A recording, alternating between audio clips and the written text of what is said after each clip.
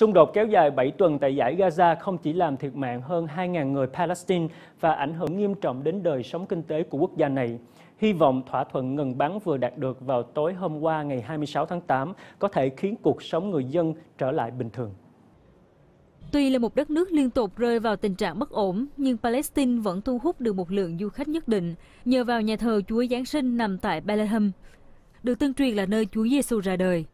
Nhà thờ Chúa Giáng sinh, di sản văn hóa thế giới được UNESCO công nhận là điểm thu hút nhiều lượt khách du lịch và khách hành hương đến từ khắp nơi trên thế giới. Du lịch là một trong những nguồn thu quan trọng đối với nền kinh tế Palestine, nhưng giờ đây đang bị ảnh hưởng bởi xung đột giải Gaza.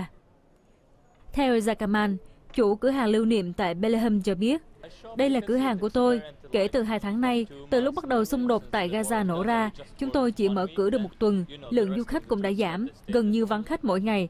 Tôi dành thời gian để lau chùi, dọn dẹp, rồi chơi máy tính chứ không có gì để làm.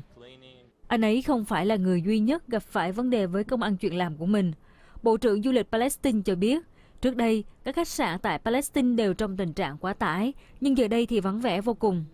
Dĩ nhiên không chỉ du lịch mà các lĩnh vực khác cũng đã bị ảnh hưởng bởi xung đột ở giải Gaza. Chúng tôi đã ghi nhận các yêu cầu hủy đặt phòng, cũng như hủy chuyến thăm trong tháng này và tháng vừa qua, lượng khách đã giảm từ 60 đến 65%. Bên ngoài nhà thờ, hướng dẫn viên du lịch Baghdad cho rằng một thỏa thuận chính trị là biện pháp tốt nhất để giải quyết vấn đề. So với mùa trước thì lượng khách mùa này đúng là giảm hẳn, không có khách du lịch nào đến đây, khách sạn thì đóng cửa trong những ngày qua. Chỉ khi họ đã được thỏa thuận ngừng bắn thì mọi chuyện mới trở lại bình thường tại khu vực này. Theo quản lý của một nhà hàng tại địa phương, tình trạng ế ẩm xảy ra từ đầu cuộc xung đột cho đến nay.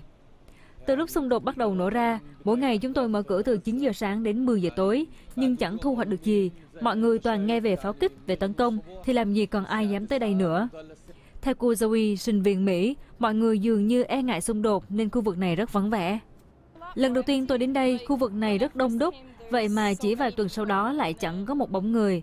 Nhưng mà không sao, tôi nghĩ là mọi người sẽ sớm quay trở lại. Tuy nhiên, một du khách tại đây cho rằng đây là khoảng thời gian hợp lý để du lịch đến Bethlehem. Khu vực này rất an toàn và tôi hoàn toàn cảm thấy thoải mái. Tôi còn muốn lưu lại tại đây lâu hơn nữa. Mọi người đều nghĩ Bellingham không an toàn, nhưng tôi muốn nói với mọi người rằng nơi này hoàn toàn an toàn. Hãy cứ đến đây và bạn sẽ rất thích. Xung đột ở giải Gaza trong suốt 7 tuần qua đã lấy đi sinh mạng của gần 2.000 người Palestine, trong đó hầu hết là dân thường và gần 500 trẻ em. Hôm qua vào ngày 26 tháng 8 lúc 19 giờ địa phương, qua sự hòa giải của trung gian Ai Cập, Palestine và Israel đã đạt được một thỏa thuận ngừng bắn vô điều kiện và không giới hạn về mặt thời gian. Nếu được thực thi một cách hoàn toàn đầy đủ và toàn diện, thì đây có thể là thỏa thuận mang tính bước ngoặt nhằm tiến tới một nền hòa bình lâu dài cho khu vực Trung Đông. Hàng trăm người dân Palestine đã đổ ra các đường phố ở bờ Tây và giải Gaza để ăn mừng thỏa thuận ngừng bắn giữa Israel và Palestine. Hy vọng thỏa thuận lần này sẽ không như những lần thỏa thuận trước bị phá vỡ ngay khi vẫn còn hiệu lực, để người dân hai nước có thể hưởng cuộc sống tốt đẹp hơn.